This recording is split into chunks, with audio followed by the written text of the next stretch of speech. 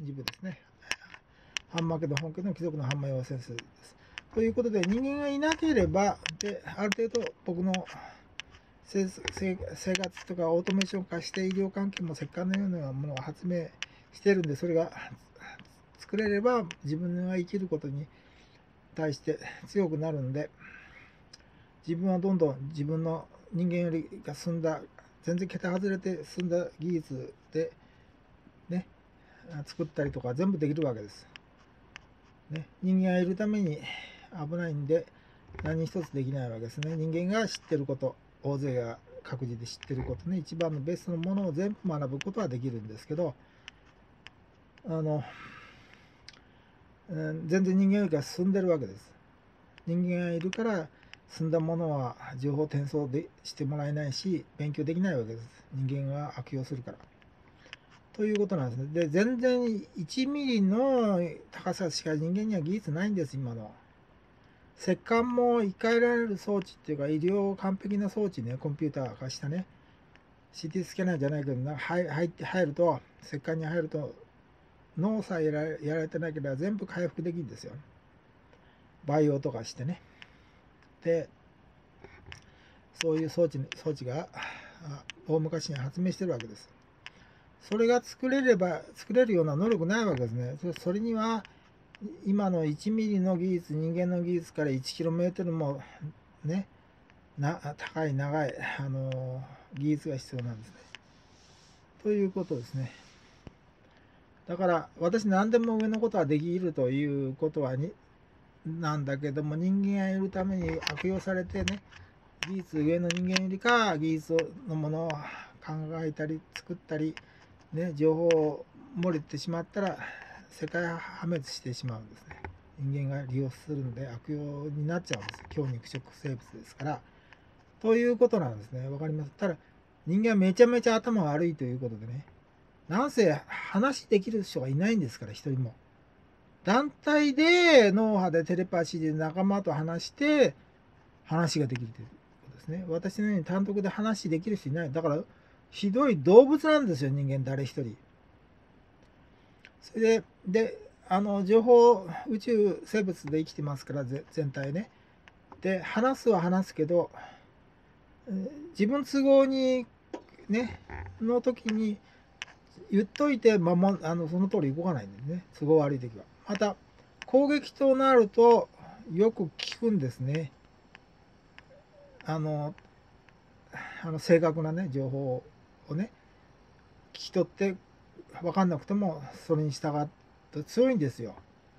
そういうことしていくんですよ。だから、えー、都合のいいものだけ聞いて都合の悪いものは聞かないだからけちゃんと約束上の頭として人間動いてね本人はその人間たちは守んないんですね都合の悪い時は。じゃあ何のために話してるかですよね。全然上の話を伝えるというだけで人間たちは全く契約も約束もしません。単なる今日肉食生物です。ね。喋ってることは上の話とかいうのはみんな宇宙からの言うことをアナウンスしただけで人間自身は話してる人間たちが言って言っていくらいいこと言ったってそれはその通り動きません。嘘です。ということですね。それが人間なんですね。人間は単なる強肉食生物であるということをよく知っていただきたい、ね、強制的に動かさなければ何もやらないしね。ね。というのが人間なんです。ここに全部いるのがそうなんですね人間。地球に100億人もいるでしょ。全員だからあの非常に知能が低い動物なんですね。ただ道具まで使うから普通ね、えー、あの作れるということで、えー、大変怖い生物なんですね。道具を武器まで使っての肉食生物だから。あの私の方上の生物だって1人しかいませんからね。宇宙全体の力で抑えてるだけでね。いつも危険を危険なんだ危険なわけですすごい遅れてるわけでめちゃめちゃパークリンなんです人間はねなんせ話できないんだから誰も。で、そう言って聞いてね、まあ、団体で聞いてるわけです、人間の。で、バカにしたかとか言って、バカにしてないからいいんですけど、宇宙全体に言ってるから、だそういうのが人間なんです、生物なんですね。なんか正確な話してるかって言ったら、台本読んでたり、本に書いてること言ってるだけなんです。本というのも宇宙生物、上の生物が書かせたんです、人間に。ね、人間が書いたんじゃないです。ということをよく知ってください。ね、私は勉強で生まれてくるために勉強、上の生物なんで戻んないといけないわけですね。もっと自分の能力にね。まだ死んじゃうわけです。石棺と言い換える装置がないから。ね、そういうので、なんとか生きるためにね、今は全然もうお先真っ暗なわけですね。もう還暦になってます。ね、早く石棺が、医療用の完璧な装置がね、完成しない限り死んじゃうわけですよ。ね、だから健康にしてできるだけ頑張るだけなんですけれども、ね、でそういうことで非常にもう誰も人間っていうのはもうひどいもんです。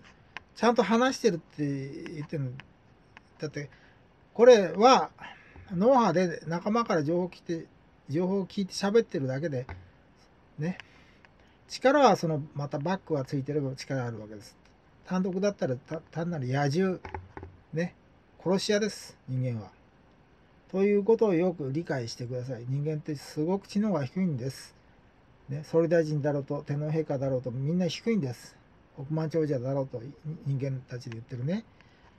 全部博士だろうと医者だろうともうめっちゃめちゃひどいです。ね、まあ頑張ってはいるんだけど今の外科なんかも頑張ってるけどもうん細かいところの血管つなぎとかね、えー、そういうのができるってだけだけでつなげてるそういう単純につなげて縫ったり接続してるだけねで